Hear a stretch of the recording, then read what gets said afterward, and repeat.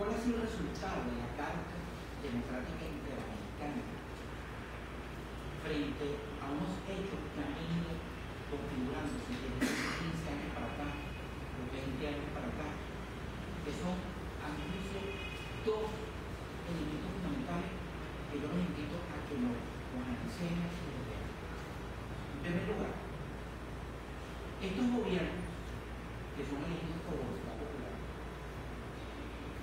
elegidos de acuerdo a un proceso electoral formal, que comienzan con un gobierno, que comienzan con una base democrática, de acuerdo como lo dice el artículo 3 de la Carta Interamericana. Pero en el transcurso del tiempo, estos gobiernos van deslegitimando esa configuración inicial formal del nacimiento de un gobierno por vía de elección popular. Resulta que 15 años después, o 10 años después, se convierte en gobierno que no ejerce la democracia, sino que ejerce con toda la seguridad no hay legislatura, ejerce una autocracia.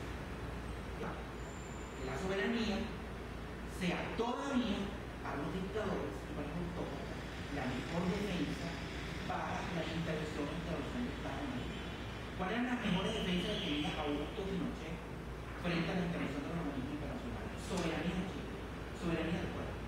¿Cuáles fueron las de? Soberanía de, de Perú.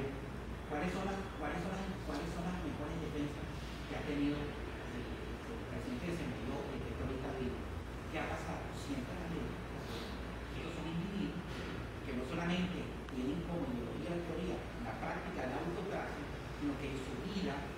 tienen cultura en el tienen cultura en cultura autóctona